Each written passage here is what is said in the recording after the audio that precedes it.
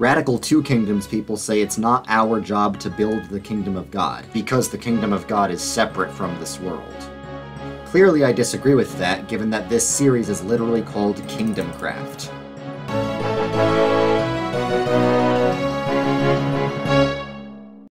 Hey guys, welcome back to Kingdom Craft, where we craft the kingdom. We build the kingdom of God in Minecraft to symbolize how we're supposed to build the kingdom of God in real life.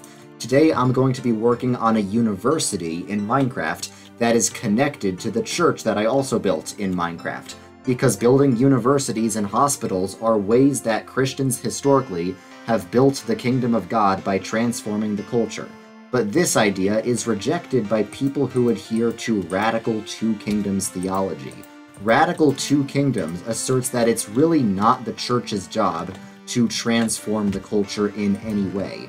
That the only job of the church to be the kingdom of God here on earth is to proclaim the word and administer the sacraments basically just handling people's spiritual lives, but there's nothing physical about the kingdom of God. Now, regular two kingdoms theology, that's just what the Protestant reformers taught, that the religious and secular spheres should be separate, and in the secular sphere, we can cooperate with non Christians in things like science and law, we can appeal to natural law, and we can have some sort of earthly common ground with unbelievers.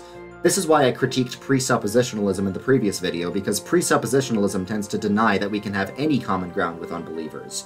But classical Two Kingdoms theology is just the original definition of separation of church and state. Martin Luther believed in two kingdoms, believed church and state should be separate, but he still believed blasphemy should be illegal. Even the Puritans, yeah, those guys who did the Salem witch trials, they believed in separation of church and state. So whenever someone says they believe in separation of church and state, I'm like, you want to be like the Puritans? So do I. So radical Two Kingdoms theology just takes the ideas of regular Two Kingdoms theology to their extremes. Radical Two Kingdoms theology says that the religious sphere, the church, shouldn't have any influence on the culture. We both agree that the kingdom of God is here now, but the radical Two Kingdoms people don't think the kingdom of God has any influence on this world. Whereas classical Two Kingdoms strongly believes the church should transform the world. I am a mainline Protestant, and one of the core tenets of mainline Protestantism is we spread the kingdom of God not just by spreading our theological beliefs, but by serving the poor and healing the sick.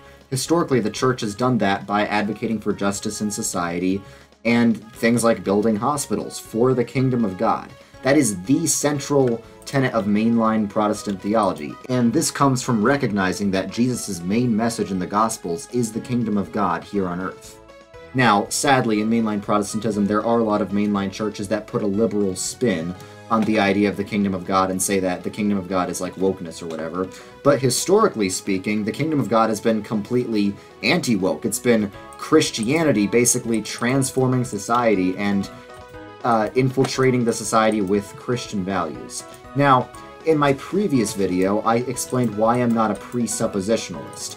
There are a lot of presuppositionalists in the Reformed, uh, Reformed theology world. But in some ways, the radical Two Kingdoms position is the opposite end of the theological spectrum from presuppositionalism. Here's what I mean. Presuppositionalism says that Christians and non Christians can have absolutely no common ground it's basically a very militarist, uh, or at least a very militant form of Christianity, that there's no common ground with unbelievers. Christian society and the Christian worldview just has to completely conquer all anti Christian worldviews because all non Christian worldviews are satanic worldviews. Radical Two Kingdoms is in the radical opposite direction. Um, whereas presuppositional presuppositionalism says the Christian worldview and culture needs to completely conquer the world, Radical Two Kingdoms says the Christian worldview should not have any impact on the rest of the world because that's just not its job. The only job of the church right now is to preach the gospel, like as in the intellectual message of the gospel, and to save individual souls, but not to transform the culture collectively. So I think historic mainline Protestant theology rejects both of those things.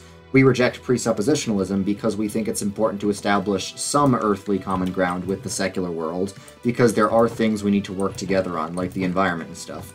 But at the same time, um, the church does need to be salt and light in the world. That was Jesus' command. Jesus said, um, Be you are salt and light. What does salt do? Salt preserves what is good. It's the church's job to preserve what is good already in the world, not to completely annihilate the um, the way things are and replace it with something completely brand new.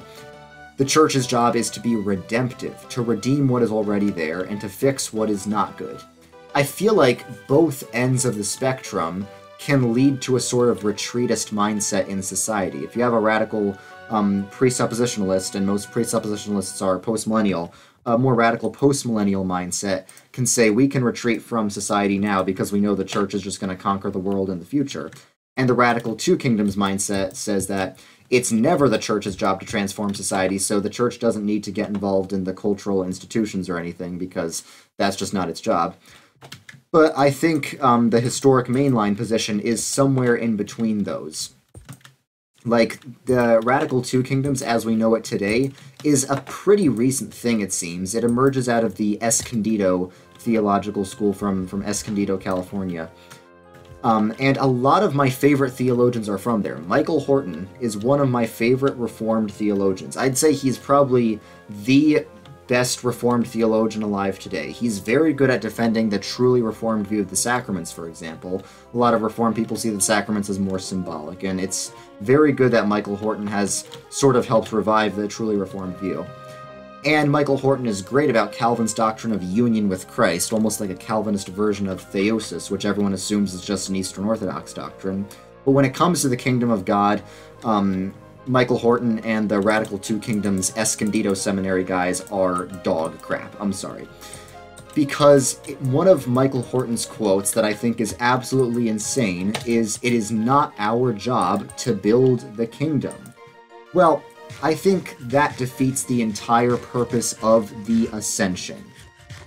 Right before the ascension, the disciples asked Jesus, At this time, are you going to restore the kingdom to Israel? Like is jesus going to finally usher in the golden age that everyone in israel had been waiting for? And jesus said it's it's not up to you to know when this is going to happen. But then after jesus ascends into heaven and the disciples just stay like gaping the angel appears to them and he's like get off your butts and start working. Uh, he probably had, didn't have that accent but the angel basically said you guys have to start working implying that the reason jesus ascended into heaven is to leave the work of building the kingdom up to his people. Because Jesus wants to involve his people, God wants to involve his people. So, what the Radical Two Kingdoms people will say is yes, the kingdom of God is now in that Jesus is reigning in heaven, but we don't do anything to build the kingdom. Jesus is going to build the kingdom, and we're just kind of along for the ride. Now, it's not like we, it's not like Jesus needs our help or anything, but because God is gracious and God loves us, God wants to involve us in the work of creation. Because in the Garden of Eden, um, God told humanity to have dominion over creation. God cares about the redemption of creation, not just individual souls, but the physical creation. And that leads me to my next point. Radical Two Kingdoms often seems to imply that the only thing the gospel is for is our individual souls and maybe our bodies, but the gospel is for individuals. It's not for creation as a whole. And that does not seem biblical. In Romans 8, it says the creation groans in eager expectation. The, the creation is waiting to be redeemed. The gospel is not just about the redemption of individual people to be saved off the sinking ship of this horrible planet. The gospel is about the redemption of creation. The, the Bible says Christ's hold, hold, Christ holds all of creation together. So that means the resurrection of Christ will eventually bring with it the resurrection and redemption of all creation uh, generally, Christian theologians have said that the, the, the destruction of creation that Second Peter talks about is not actually a destruction as an annihilation, but more of a purification. The destructive fires are really just imagery for purification. When it says the world will be destroyed, what it really means is everything bad in the world will be destroyed. The ways of this world will be destroyed. And we think this because the Bible, in many other places, says all things will be redeemed, all good things will be restored generally speaking, radical two kingdoms theologians like David Van Drunen. David Van Drunen is probably the most radical, radical two kingdoms theologian. He says that the church shouldn't even serve the poor, help the poor. They, he would say individual Christians on their own time should feed the poor and stuff, but they shouldn't do that necessarily as the church. David Van Drunen has said that we have no a reason to think that great things of this world will be in the world to come. Like, for example, Johann Sebastian Bach's music. The best music ever written for the glory of God. It's objectively the best music. Um, most common sense Christians would say that, of course, uh, Bach's music, either that or like an even better version of it, I don't see how you can make it any better, is going to be in the new heavens and the new earth. Because there is a general motif throughout all Scripture that all good things will be restored. But these radical two kingdoms theologians, they say no, the things of this world won't necessarily be in the new heavens and new earth. The new heavens and new earth will be something radically different. There's not going to be much continuity. The only thing that's going to continue from this world to the next is us. And it's almost the Docetist heresy which denies that the physical is going to be redeemed. Whereas the transformationalist view, or you could call it the Kuyperian view, because um, Kuyper was another modernish Reformed theologian Dutch Reformed guy who was also the Prime Minister of the Netherlands, who strongly advocated for a transformational view. So sometimes the transformational view is called Kuyperianism. That's definitely what I'd fall under. The transformationalist view is that everything good will be restored and will be present in some way in the new heavens and the new earth. So that means, let's say you had uh, a Minecraft world when you were a little kid, and that Minecraft world got deleted.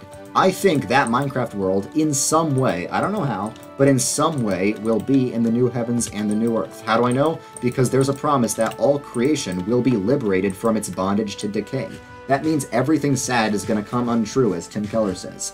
And my favorite theologian who talks about this is N.T. Wright. Nobody explains the kingdom of God better than N.T. Wright. You cannot understand eschatology at all without listening to N.T. Wright. I know he's sketchy on some other issues, but on eschatology, he is so epic that it makes up for it completely. N.T. Wright says, You're not oiling the wheels of a car that's about to drive off a cliff. We're not rearranging the deck chairs on the Titanic. I think that um, if Christians have this mindset that this whole world is just going to be nuked by God, it sort of destroys our motivation to work for the kingdom and to create stuff the whole Kingdom Craft server, all these people making beautiful things for the kingdom, it's about creating for God's kingdom. What's the purpose of creating if you think this stuff is not going to last? If you had a Minecraft world that you knew was going to be deleted tomorrow, would you build anything beautiful on it? Of course not. The reasons Christians have uh, written some amazing pieces of music. I'm not talking about Hillsong. I don't think Hillsong is going to be in the new creation. I'm kidding, but also not. Um, but the reason Christians like Handel and Bach have written such amazing pieces to the glory of God, the reason they've built so many amazing cathedrals, is because God wants to involve us in the work of creation and new creation. There is something truly redemptive about creating beautiful, amazing things in the name of Jesus Christ. And every good thing done in the name of Christ will last forever. That's what I strongly believe, because, of course, Jesus is really the one who lasts forever, who has eternal life. But Jesus holds all things together. So, like I said, the resurrection of Christ will bring with it the resurrection of all creation. So there's going to the gospel has a cosmic dimension to it that everyone neglects. That's why even as a Calvinist who believes in limited atonement, we can say Jesus died for everyone in a sense because even if not all individual souls will be redeemed, um, Jesus died for the creation as a whole because sin doesn't just affect our individual souls. Sin affects the physical creation. And Jesus died to redeem that. So we can really say that Jesus died for the world. Um, when the Bible says, for God so loved the world, we don't need to put an asterisk at the end of that saying, oh, the world just means like all different types of people. I know some Calvinists have tried to interpret it like that, but that's that's ridiculous. Come on. God loves the entire world. God even loves the non elect, even if they won't eventually be saved, and even if um, God loves them in one sense and hates them in another sense. God's, it's still right to say God loves everyone. I've, I think I've made a video about that. If not, then I'm going to. But that's that's off topic. The point is that all of creation will be redeemed, and that means everything good in creation. And now I would take it a bit further than some people would. I would take it further than some transformationalist or Kuyperian theologians would. I think every individual animal, not just all types of animals, but every individual animal will be present in the new heavens and new earth. I think uh, your pet, your pet's going to be in heaven. I really think so. You know why? Well, animals do not sin, and animals still suffer. The problem of human suffering can be explained by human sin. We all deserve hell, so anything less than hell is a blessing. But why do animals suffer? It's really hard to explain that without believing that God will give them some sort of compensation. We don't know for sure because the Bible doesn't say what happens to animals after they die. we do have a sense that animals have souls in some sense, not rational souls the way humans do, but with like Balaam's donkey, um, we do we do get the sense that animals have feelings. Animals can hurt in the same sense that humans can hurt, even if they don't have a rational soul. They have what Aristotle would call a appetitive soul, or I don't know, whatever. But the point is, animals need some compensation if God is just. If God allows animals to suffer without compensation, that would make God unjust.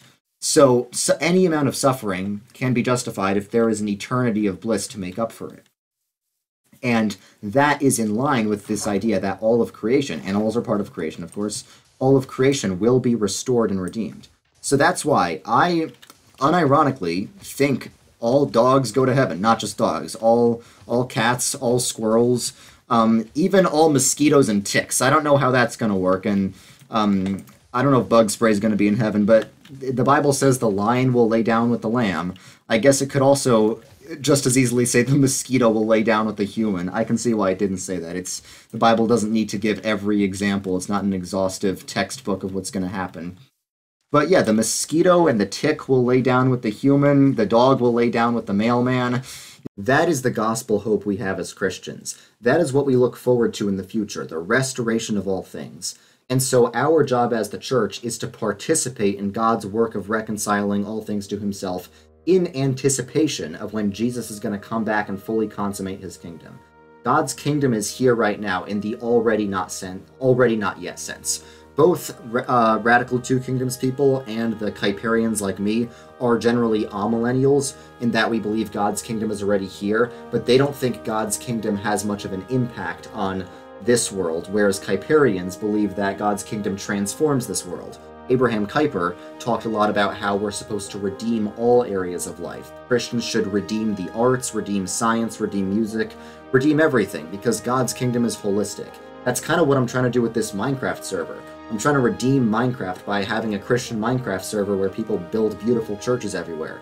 I'm trying to participate and invite other people to participate in God's redeeming work. I know a Minecraft server is not nearly as important as other things, but I want the Minecraft server to sort of be a picture of how people could do things in the real world. I want to be very clear, I'm not saying Minecraft is a substitute for the real world, but all things in creation will be uh, will be restored.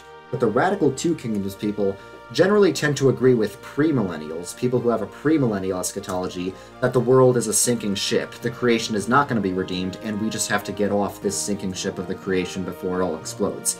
Now, there are Bible passages that seem to say this world's going to be destroyed, but in the Bible, the world sometimes refers to the creation, and sometimes refers to like the authorities and principalities that run the world, aka Satan. Satan and all the evil powers of this world are going to be are going to be destroyed but the creation itself is going to be redeemed, and we have to draw that distinction. The world is going to be purged of everything evil, but because Satan has been bound for a thousand years, that's just an image. Satan still does things in the world. But we are we as the church have the ability to go out into the world and transform it, and I believe that is the gospel call. That is an essential part of the gospel, and that is why I reject radical two kingdoms theology.